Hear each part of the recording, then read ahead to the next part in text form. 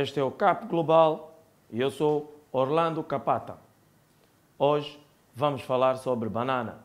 Hoje eu quero mostrar aqui a minha indignação clara contra os nutricionistas. Os nutricionistas, para mim, são os indivíduos que mais se contradizem. Tu vais ver um livro ou um comentário do nutricionista falar sobre uma coisa, por exemplo, vá lá, uh, tomate. Ah, o tomate ajuda no sangue e também previne câncer de pele. Vai vir um outro indivíduo que vai te dizer, olha, o tomate não ajuda em nada na pele, ajuda no cérebro. E quem tem problema no sangue convém não comer tomate. E chega uma altura que você não percebe se vais ficar com que tomates, se os tomates do primeiro gajo ou os tomates do segundo. Então eu fiquei aborrecido com essa situação e eu fui fazer pesquisa por mim mesmo. Portanto, hoje eu vou ser o vosso nutricionista. O nosso CAP Global hoje vai falar sobre nutrição. E, e, e a, a fruta que escolhemos é banana. A banana é uma fruta muito importante porque ela é rica em potássio. Banana tem potássio. E Angola tem prostitutas, Brasil tem prostitutas, todo mundo tem prostitutas. Vá, o mundo todo é cheio de potássio. Não sei que relação isso tem a ver, mas é uma coisa nutritiva. A banana é nutritiva. E a banana tem muita utilidade, porque a banana ajuda a prevenir algumas doenças, a banana ajuda também a ser um brinquedo sexual. Olha, por exemplo, a banana cura a anemia. Quando onda, come a banana, yeah? come banana, quando onda. A banana pode ser um brinquedo também sexual e a banana ajuda na memória. E é sobre isto que eu quero aprofundar aqui. Atenção à relação que tem a banana e a memória. Mas tu aí podes dizer, oh, não, não, uh, uh, uh, eu não vejo lógica nisto. Tem lógica, eu tenho provas. Yola Semedo é uma cantora angolana de muito respeito e um dia foi convidada a ir a um programa de televisão. E ela, como uma boa mulher cuidada, preocupada com a saúde, ela comeu bananas antes de ir ao programa. Acho que foi a pior coisa que ela fez. Mal comeu a banana, chegou lá no programa e falou isso.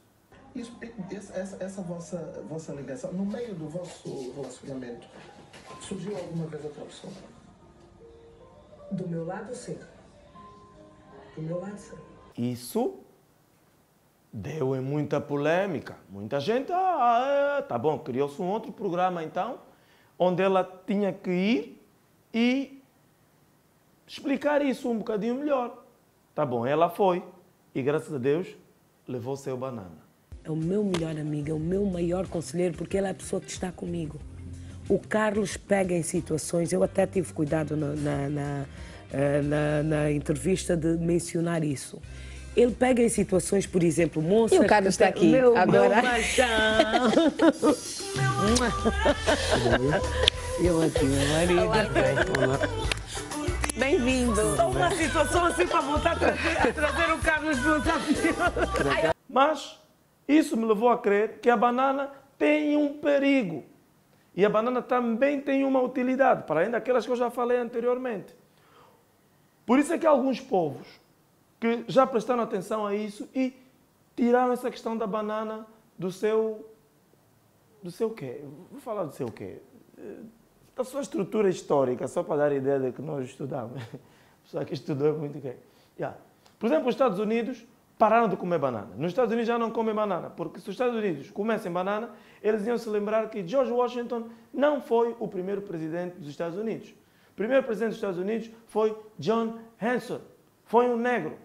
E o negro não pode aparecer como primeiro presidente dos Estados Unidos. Então eles tiraram toda a banana, porque se comerem banana, vão se lembrar que Barack Obama não foi o primeiro presidente negro e George Washington não foi o primeiro presidente daquele país. Mas agora, Brasil também estão a abandonar a banana.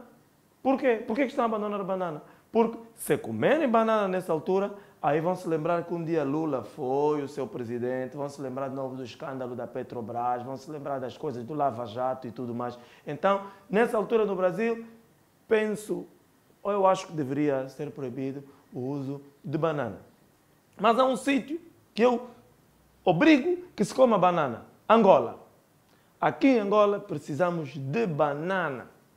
Porque com isso tudo o que está a acontecer, há algumas pessoas que estão a sair de cena e nem sequer estão a ser mais lembrados. Então a banana como ajuda a memória, um pouco de banana faz muito bem. Porque se nós comermos banana, vamos nos lembrar que foi prometido o sino nacional estar nas mãos da cultura. Onde está o sino nacional? Onde está o sino nacional? Devíamos comer banana para nos lembrar que um dia partiram Teatro Avenida e até hoje aquilo está ali. Entende? Temos que comer banana porque aquele, aquele prédio está ali, nem sequer avança, não há nada, ninguém diz nada. E Angola, Luanda, não tem teatro. Uma casa de teatro de luxo, de facto. Tem né, uns lugares ali, mas devia ter mais, Teatro Avenida. E também outra coisa que devíamos comer banana para nos podermos lembrar, é nos lembrar que cultura não é só kuduro. Claro que kuduro é um cu cultural, mas nós não precisamos só de cu, precisamos de mãos, precisamos de olhos, precisamos de barriga e precisamos também de cérebro. E agora há uma situação que eu quero mostrar, claro, você não está na dúvida, mas banana, hum, parece que não, parece que o Orlando está exagerado, mas não. Tem aqui uma prova de que se este cota comer uma banana, vocês vão logo dar conta que ele vai se lembrar de muita coisa. Senhor Presidente, gostaria, com devido respeito, até porque a questão é delicada e de foro íntimo, de lhe perguntar se tomou conhecimento da informação veiculada pelo semanário Folha 8, que diz respeito à sua pessoa. Sim, eu não li o material, mas uh, familiares meus e pessoas amigas uh, que leram o artigo ou a entrevista falaram-me do seu conteúdo. Claro que fiquei espantado uh, por tudo quanto foi dito. Uh, e ainda bem que me faz essa pergunta, porque acho que é oportuno que se faça um esclarecimento sobre tudo quanto tem sido dito à volta dessa questão. Eu sei que se trata de uma senhora uh, que se chama Josefa e que procura pelo seu pai biológico. Pois pela, pelo conteúdo da entrevista, pelas afirmações que fez essa senhora, eu penso que ela tem que ter paciência e ter que continuar a procurar uh, o seu pai, porque pelos dados que ela apresenta, a pessoa que ela procura é outra. Então já sabe. Queres te lembrar de alguma coisa? Coma banana. Não queres dar bandeira numa cadeia televisiva? Não coma banana. Este é o Cap Global. E eu sou Orlando Mukwajipata.